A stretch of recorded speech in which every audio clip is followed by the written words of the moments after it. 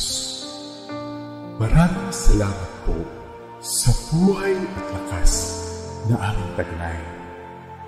Sa liwanag ng kaisipan at sa pagkakataon maipagpatuloy ang pag-aaral ng mga kabataan.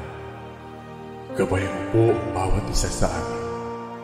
Anuman ang bahagi na nagagampanan, naway maging maayos at matagumpay ang pagtuturo at pag-aaral na aming gagawin sa na ito. Patawarin mo po kami sa aming mga pagkulang at pagkakasala. At sa aming paggawa, ikaw po ang aming makasama. Amen. Good morning, students and parents. Welcome back to Mathematics 9 Valenzuela Live streaming class. Before we start our discussion, make sure your self-learning module is open on week 2 page. You must also have your pen and notebook with you. Are you ready? Let us begin. Our today's lesson is about joint and combined variation. At the end of this session, you should be able to illustrate situations that involves joint and combined variation. Translate into variation statement a relationship between two quantities given by a mathematical equation. Solve problems involving joint and combined variation. Last live session, you learned about direct and inverse variation. Let us check if you really understood the said lesson. Our first activity is entitled Represent Me. You will translate the statement that will flash on your screen. You will be given 5 seconds to answer. You can type your answer in the chat box. Use variable k to represent the constant of variation. Are you ready? Let us begin. Statement number one. The cost C of fish varies directly as its weight W in kilograms. Translate into mathematical statement. Timer starts now.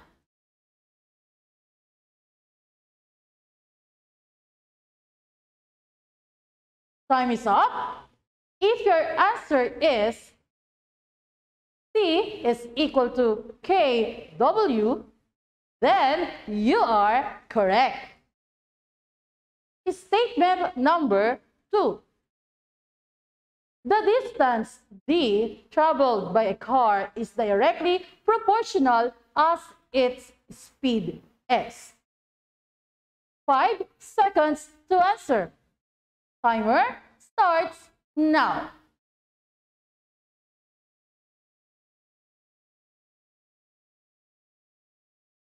The correct answer is D is equal to Kx.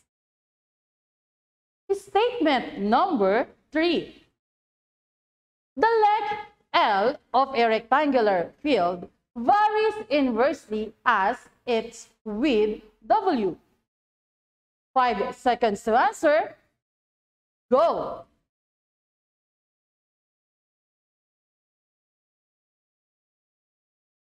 The correct answer is L is equal to K over W. If you got three correct answers, you are awesome.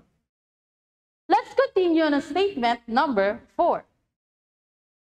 The mass m of an object varies inversely as the acceleration due to gravity g.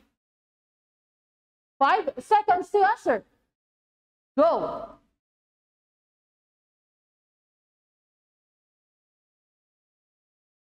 The correct answer is M is equal to K over G. For the last item, statement number 5. The area A of a square varies directly as the square of its side x. Five seconds. Go.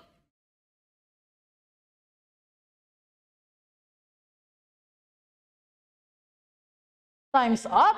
The correct answer is A is equal to KS squared. If you got five correct answers, you are now ready to learn our next lesson. We will discuss today the other types of variation, which are the joint and combined variation. First, let us talk about joint variation. Joint variation is when a quantity varies directly as the product of two or more quantities. The statement y varies jointly as x and z can be written in the form y is equal to kxz, where k is the constant of variation. Now, using the concept of joint variation, let us translate the following variation statement into mathematical equation. You can type your answer in the chat box. The volume of a cone B varies jointly as area of the circular base B and altitude h. In your answer. The answer is B is equal to KBH. Very good, students. How about this statement? The force F applied to an object varies jointly as the mass m and the acceleration a. Type your answer now. The answer is F is equal to KMA. Did you get the correct answer? You're doing great. About this one? The volume of a cylinder V varies jointly as its height h and the square of the radius r. Key in now your answer. The correct answer is V is equal to KHR squared. Did you get it correctly? Magnificent! You are now ready to the next level. So after dealing with translating the statements into mathematical equation, let us focus on the following problems. Example number one. Suppose A varies jointly as B and C, and A is 24 when B is 3 and C is 2. Find A when B is 12 and C is 5. Step 1. Write the variation statement into mathematical equation. In example number 1, it says that A varies jointly as B and C. So we have A is equal to KBC. Step 2. Solve for the constant of variation. We will use the value of A is 24 when B is 3 and C is 2 to solve the constant of variation. By substitution method, we have 24 is equal to K times 3 times 2. Simplifying K times 3 times 2, we have 24 is equal to 6K. Applying the multiplication property of equality using multiplicative inverse, we multiply both sides by 1 over 6. We have 24 over 6 is equal to 6k over 6. Simplifying, we have 4 is equal to k, or k is equal to 4 using symmetric property. So our constant of variation is 4. Step 3. Rewrite the mathematical equation by putting the constant term k is equal to 4. So we have A is equal to 4BC. Step 4. Solve for the missing term in the problem. Since we need to find the value of A when B is 12 and C is 5, we have now A is equal to 4 times 12 times 5. Simplifying 4 times 12 times 5, we have A is equal to 240.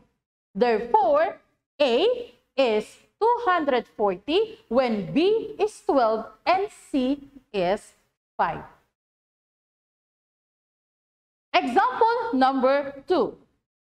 If Z varies jointly as X and Y and Z is 60 when X is 5 and Y is 6, find Z when X is 7 and Y is 6.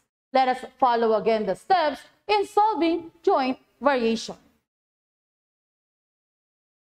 Since z varies jointly as x and y, we have z is equal to kxy. By substitution, we have 60 is equal to k times 5 times 6. Simplifying, k times 5 times 6, we have 60 is equal to 30k. Applying the multiplication property of equality using multiplicative inverse, we multiply both sides by 1 over 30. We have 60 over 30 is equal to 30k over 30. Simplifying, we have 2 is equal to k or k is equal to 2 using symmetric property. Therefore, the value of the constant of variation is 2. Using the value of constant of variation, we have z is equal to 2xy. Since we need to find z when x is 7 and y is 6, we have z is equal to 2 times 7 times 6. Simplifying 2 times 7 times 6, we have z is equal to 84. Therefore, z is equal to 84 when x is equal to 7 and y is equal to 6. Do you understand now the joint variation? Very good. Let us proceed to the last type of variation. And that is combined variation. What is combined variation? This is the kind of variation that involves both direct and inverse variations. The statement y varies directly as x and inversely as z can be written in the form y is equal to kx over z, where k is the constant of variation. So again, the statement y varies directly as x and inversely as z can be written in the form y is equal to kx over z, where k is the constant of variation. Let us now try to translate variation statement into mathematical equation.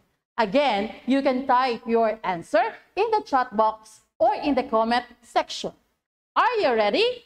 Okay, here is our first statement. The pressure P of a gas varies directly as its temperature T and inversely as its volume V. Write into mathematical equation. Key now your answer. If you answer P is equal to K T over V, you are correct. Let's try the next statement. The electrical resistance R of a wire varies directly as its length L and inversely as the square of its diameter D. Write it again into its mathematical equation. Comment now your answer. The answer is R is equal to KL over D squared. Did you get the correct answer? You are now ready to solve problems. After dealing translating variation statement into mathematical statement, we will now proceed to solving problems. Example number one, in combined variation. If z varies directly as x and inversely as y, and z is 9 when x is 6 and y is 2, find z when x is 8 and y is 12. To solve this, we can use the methods earlier in joint variation. Step 1. Since z varies directly as x and inversely as y, we have z is equal to kx over y. Step 2. We will use the value of z is equal to 9 when x is 6 and y is 2 to solve the constant of variation. And by substitution, we have 9 is equal to k times 6 over 2. Simplifying k times 6, we have 9 is equal to 6k over 2. Multiplying both sides by 2, we have 18 is equal to 6k. Applying the multiplication property of equality, we have k is equal to 3. Step 3. Since the constant of variation is 3, we have z is equal to 3x over y. Step 4.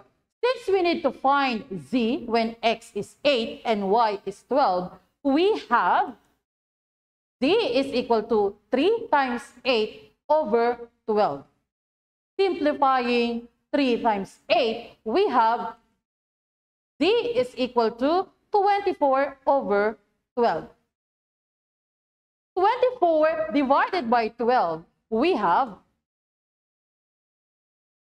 z is equal to 2. Thus, z is equal to 2 when x is 8 and y is 12. Example number 2. Suppose r varies directly as the square of s and inversely as t. And r is 72 when s is 6 and t is 3.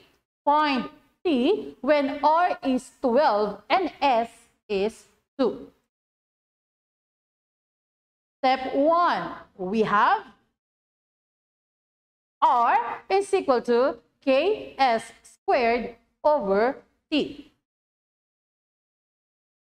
Next, by substitution, we will use the value of r is equal to 72 when s is 6 and t is 3. So, we have 72 is equal to k times 6 squared over 3. Simplifying k times 6 squared, we have 72 is equal to 36k over 3.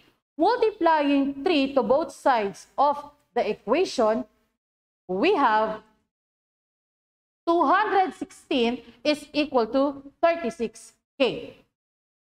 Applying the multiplication property of equality, we have k is equal to 6. Therefore, our constant of variation is 6. Using the value of the constant of variation we solve, we have r is equal to 6s squared over t. Since we need to find t when r is 12 and s is 2, so we have 12 is equal to 6 times 2 squared over t. Simplifying 2 squared we have 12 is equal to 6 times 4 over t. 6 times 4, we have 12 is equal to 24 over t. Multiply both sides by t, we have 12t is equal to 24. Applying the multiplication property of equality, we have t is equal to 2. Hence, the value of t is 2 when r is 12 and s is 2. Did you get the way of solving joint and combined variations? Very good. You are now ready for the next level. Let us apply it to the real life problems. Example number one. The mass of a rectangular sheet of wood varies jointly as the length and the width. When the length is 20 centimeter and the width is 10 centimeter, the mass is 200 grams. Find the mass when the length is 15 centimeter and the width is 10 centimeter. If you observe the given problem, there is no variable that represents each quantity. So you can use any letter to do this. The first quantity in the given problem is mass of a rectangular sheet. We can assign variable m for this. We will also use L to represent the length and W for the width. In order to solve this, we will apply again the steps we discussed earlier. In step 1, going back to our problem, the mass of a rectangular sheet of wood varies jointly as the length and the width. In symbol, we have M is equal to KLW. In step 2, when the length is 20 centimeters and the width is 10 centimeters, the mass is 200 grams. We use this information to solve for the constant term. So we have 200 is equal to k times 20 times 10. Simplifying k times 20 times 10, we have 200 is equal to 200k. Applying the multiplication property of equality, we have 1 is equal to k or k is equal to 1 using symmetric property. Step 3. Rewrite the mathematical equation using the value of k as our constant of variation. We have m is equal to 1lw or m is equal to lw since the constant of variation is 1. Step 4 we need to find the mass when the length is 15 centimeters and the width is 10 centimeters. Substituting the given information to our equation, we have m is equal to 15 times 10. Simplifying 15 times 10, we have m is equal to 150.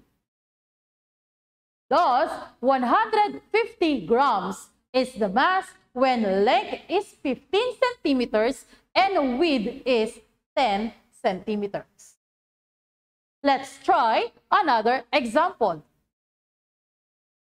The force attraction F of a body varies directly as its mass m and inversely as the square of the distance d from the body when mass is 8 kilograms and distance is 5 meters, force is equal to 100 newtons.